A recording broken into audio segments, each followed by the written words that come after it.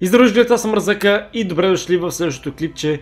Да, знам, от много време не бях снимал и не знам кога изобщо ще продължа да снимам, защото просто в момента не ми се снима като че ли, нямам това желание, но правя това клипче извънредно, защото бих искал да ви разкажа малко какво се случва именно с сайта PayPal. А, мисля, че всеки знае за какво става въпрос относно този сайт. Това е сайт, в който можете да получавате пари, да пращате пари и да, общо това му е главната идея. Та, сега ще ви разкажа моята история с PayPal, която стана буквално в последните м- два месеца някъде. А, та, значи, по принцип, PayPal, ам, много малко хора знаят, че той има един лимит, който се води по някакво европейско правило, не знам си там някакви штроти и бла бла бла. Който лимит реално се равнява на 2500 евро, което нямам представа това колко лева е, някъде около 5000, ще не точно, някъде по-малко от 5000, но там някъде. А, и реално всеки го има този лимит и не може да праща или получава повече пари от този лимит. Тоест, ако се опитате да пратите повече от 5000 лева, не ви дава тази възможност. Ако някой се опита да ви прати повече от 5000 лева, също не, ням, не можете да получите тези пари. Та, значи, идеята е, че трябва да си потвърдите профил. И аз си викам, хубаво, айде ще си потвърда профила, нали, да нямам лимит на акаунта, така или иначе. А, и за да си потвърдите профила, трябва да направите две неща. Едното е да си потвърдите самоличността. Именно като а, пратите снимка, а, на, примерно на личната си карта или на шофьорската си книжка, бе като цяло документ, който удостоверява, че това сте вие, който се е регистрирал нали, в този сайт. А, другото, което трябва да направите е да изпратите потвърждение за адреса, на който живеете.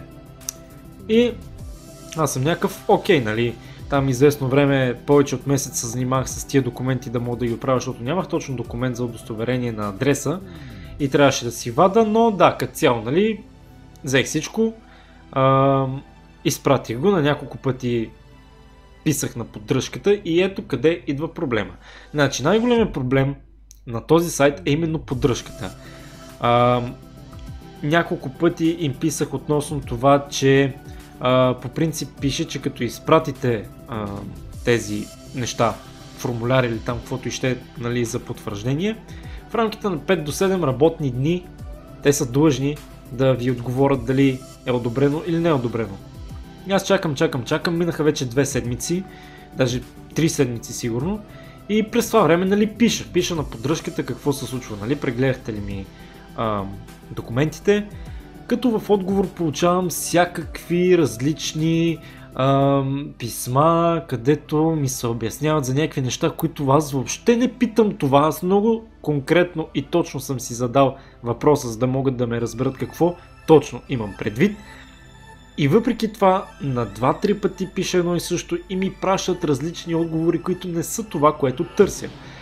И а, не знам, накрая буквално го написах като за първокласник да може да ме разбере. И тогава вече те решиха да ми отговорят, нали, че а, документите ми са в процес на обработка и трябва да си потвърда картата. Нали, да, аз тогава не знаех, че трябва да си потвърда картата, която съм си вкарал в този профил. И окей, нали, ще си потвърждавам картата. За да си потвърдите картата, те ви пращат някаква малка сума, мисля, че 2 евро беше. А, и в рамките там на няколко работни дни този трансфер на пари трябва да ви излезе. Когато ви излезе, а, там има един код, 4 цифрен код, който влизате в сайта и го въвеждате. И след това те си взимат тези 2 евро, които са ви дали и картата ви е потвърдена. И вече нещата там приключват. И аз, окей, нали, ще потвърждавам картата.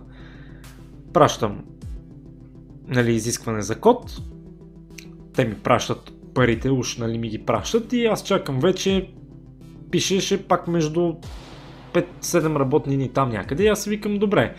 Значи по принцип са бавни с отговорите, затова да кажем ще изчакам 2 седмици, айде нали. 5 до 7 работни дни, това е една пълна работна седмица и още малко. И свикам айде 2 работни седмици. И чакам, аз чакам, минава първата седмица, минава втората седмица и решавам да проверя реално, защото а, по принцип а, има вариант да си проверите в интернет това разплащане или от банката. Но тъй като а, моята карта в сайта а, не можете да я проверите от България. Значи ако картата да кажем е от САЩ или от Германия, например, някакви други страни, можете да влезете, да си регистрирате и да проверите реално, но с България явно няма такива връзки и не може, затова единствено от банката. И добре, айде след две седмици отивам, проверявам има ли пари в банката, ми няма трансфер. Какво става, какво се случва, трансфери, трансфери, няма нищо. И си към добре, нали ще чакам още една седмица, те явно има някакъв проблем, пък и тук до България като цяло нещата винаги идват много бавно, винаги много бавно се обработват. И аз хубаво, айде ще чакам още една седмица. Чакам още една седмица, отивам, проверявам, няма никакъв трансфер. Какво се случва? Три седмици вече станаха. Писах на поддръжката, няма ги парите. И те тогава ми пращат а, писмо, че а, нещо от сорта, че още се проверява, още в процес на изчакване, абе типичното, което ми пишат всеки път. И буквално минути след това ми излиза с а, писмо, че са ми проверили документите. Аз викам, добре, супер. Значи, по принцип трябваше първо да си потвърда картата и след това те да ми проверят документите, но явно са ги проверили преди това, а аз ги с не знам колко време закъснение. И чета, чета, тук вече, признавам си, грешката беше моя, значи сайта за да се регистрирате трябва да сте над 18. Разбира се, може да напишеш, че си над 18, никой няма да търси, обаче после ако тръгваш да си потвърждаваш профила и си пратиш документите, те виждат на коя дата си роден, виждат на коя дата си направил профила и виждат, че ти не си бил на 18, когато си го направил. И реално, при мен беше така и ми изписаха, че тези документи а, по принцип са валидни, обаче не могат да ми потвърдат профила, защото профила ми е създаден когато не съм имал 18 години и поради това следват няколко неща. Първото нещо, не мога да пращам пари. Второто нещо, не мога да получавам никакви пари. Третото нещо, не мога да си изтрия акаунта. Демек, абсолютно нищо не мога да правя в този акаунт. Не мога да получавам пари, не мога да изпращам, не мога да го изтрия, тогава просто акаунта остава в нищото. И по-големия проблем е, че всичките данни, които са въведени там, аз не мога да ги повторя. Не мога да ги въведа в друг акаунт. Защото а, те вече са ползвани в един, нали, по принцип сайтовете е така, един имейл не може да се използва два пъти. Нали, ясно, имейл е друг, обаче вече искат и друг телефон, а, искат и друга карта и става дрампаран. Това ми е новия профил реално, който съм отворил тук и го отворих просто за фон, а, за да мога да говоря, но това беше големия проблем, че а, реално аз мога да правя промени в профила си, т.е. да махна картата, това го пише в съобщението, да махна картата, да, да смена информацията, което за мен е окей, защото трябва да си смена телефонния номер, да мога да го ползвам в новия профил, който ще използвам реално. А, и какво правим, какво правим? Не мога да ги направя работи. Защо? Защото картата ми още не е потвърдена и не мога да я махна. Вследствие на което не мога да правя промени. А, обаче аз чакам кода. И викам хубаво, значи нещата замръзват, чакам си кода. Минава още една седмица, още една проверка. Няма нищо. Стана един месец, откакто чакам да ми се излезнат тия 2 евро, които ми пратиха. При положение, че пише 5 до 7 работни дни.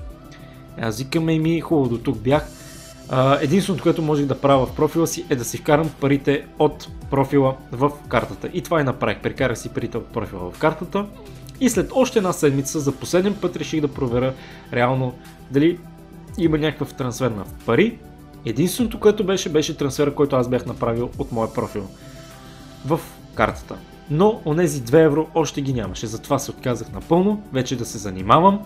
Поддръжката ма мотае, а, изпращането на парите ма мотае, оправянето на документите ма мотае и реално цялата работа можеше да се свърши за една седмица, да ми кажат, че няма как да станат нещата, обаче те решиха, че ще ме влачат над 2 месеца а, за да могат накрая да ми кажат ми, не брат, съжалявам, не можем да ти приемем документите, а, защото еди какво си, еди що си. И в момента профила ми е замръзнал, Защото още си чакам парите, които те трябва да ми пратят. И не знам какво се случва. Значи поддръжката на PayPal е отвратителна. И реално идеята ми да направя този клип е да ви кажа изобщо да не се занимавате да си вдигате лимита на профила, защото е голяма разправия, много нерви, много неадекватна поддръжка. Значи ще сте големи късметли, ако се оправите като хората, защото наистина това е ужас, голям ужас. Има шанс, нали, да се оправите, както аз ще да направя реално, ако си бях направил профил, профил след като бях навършил 18, но пак мотаенето е огромно. Окей. Okay. Мотаенето е огромно, отговарят ви на съобщенията. Значи, единственото, което е хубаво в цялата поддръжка на сайта е, че отговарят бързо. Обаче оттам нататък отговорите са напълно неадекватни. Отговарят ви с неща, които не сте питали, вие питате съвсем различно, бавят ви, мотаят ви. Аз не знам дали въобще ще си получа тия 2 евро за потвърждение на картата. Може би някой прекрасен ден ще стане това нещо. Но, но, да, това е цялата работа. Не се занимавайте с PayPal пращайте си малки суми, получавайте си малки суми и това е, защото поддръжката относно а, свързването с българските институции е отвратителна.